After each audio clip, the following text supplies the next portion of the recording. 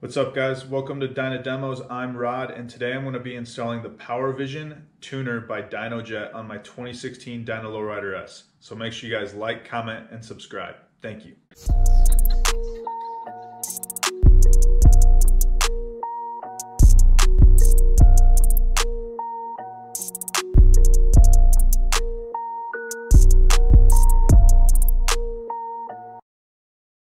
What's up guys, like I said in the intro, I'm going to be installing the DynoJet PowerVision tuner.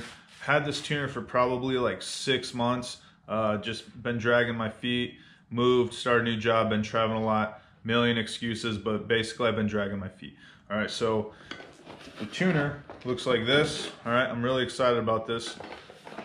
Looks like this, and I actually got this dash cut out by Kitzel. They sent me this a while ago as well, and I'm super excited about installing this because it's gonna the tuner is gonna go on my dash just like this. All right. And additionally, one other thing I had to do in order to run this tuner was on the Dyna Lowrider S, the 2016. Um, there's only one six-pin connection, and that's already being used by my fan for my oil cooler. So since I want to run both my oil cooler and the Power Vision, I had to buy this uh, this splitter. So I'm gonna hook all of it up. I'm gonna show you guys how I do it. So I've already taken apart um, a few things. I took out the electrical uh, compartment cover and I disconnected the six pin from the connector that I have controlling my fan. So I'm going to do now is I'm going to figure out how to route that harness and then I'm going to uh, route it and route it up to my dash so I can get the tuner installed and turned on.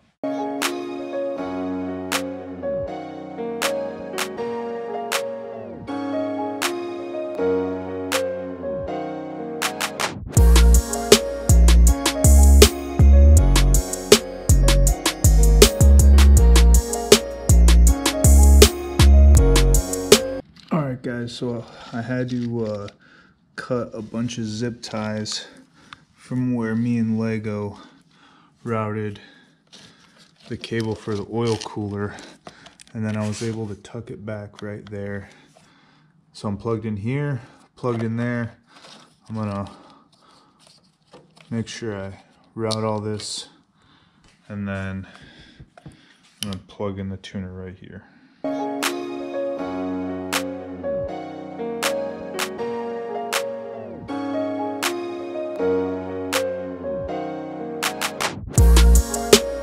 Guys, so a little update. I uh, disconnected the tank and just uh, lifted it up, ran the wire up through here. So now I can connect it here. And now I'm going to connect PowerVision.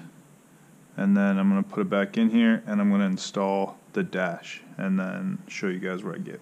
Alright guys, so what I'm doing is I'm putting some foam in here um, in hopes that it'll keep the power vision from sliding around. Alright guys, I'm tired of messing with this and uh, it wasn't getting a real good fit so I'm just going to drill it bigger.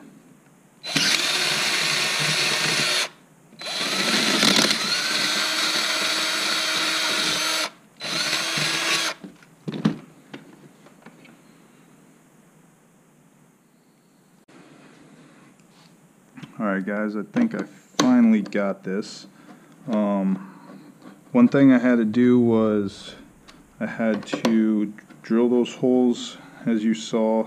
I think on the website uh, Kitzel even says, you know, it's not going to be perfect. May require some drilling. So let's see if this seats all the way down. Gets a good seal. I'm looking for a good seal right here. Um, and then I also had to cut that foam over there. And I got a big piece. I, I fit this like twice and the tuner was moving way more than this. So I cut a circular piece and put it right here and jammed it in there. That way uh, the PowerVision couldn't go anywhere. So got this tight. gotta check my seal. Good to go. Got one more bolt. It's right here.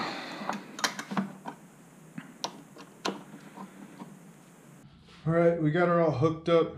Just to recap, I had to drill holes on the stock dash in order to get the bolts to fit all the way through. And then I had to put this foam on top and on bottom to keep it from moving around. I lifted up, or I disconnected the bottom uh, mounting position of the tank and I just picked it up and ran the wire underneath all the way up. So now we're gonna apply power and uh, show you guys what it looks like. So it looks like you can do a quick tune, auto tune. You can load a tune, check statuses, check live idle, um, vehicle info. Uh, you can restore to the original tune. Um, yeah, so it looks like there's a lot of stuff you can do with this. Really excited tomorrow to take this out for a ride and mess with it. And uh, I'll shoot a moto vlog, so I, will let you guys know um, what what comes up with it. I'm gonna read the manual tonight, figured it all out. All right, guys, that's gonna do it for the Power Vision tuner install. I hope you guys liked the video. Um, on a difficulty scale, I would say that this is probably a six pack. Uh, I did run into those two small issues of having to re-drill the holes and then put the foam inside the console just to make sure that the tuner wasn't sliding around. But besides those two uh, minimal issues, I would say that uh, it's pretty straightforward job.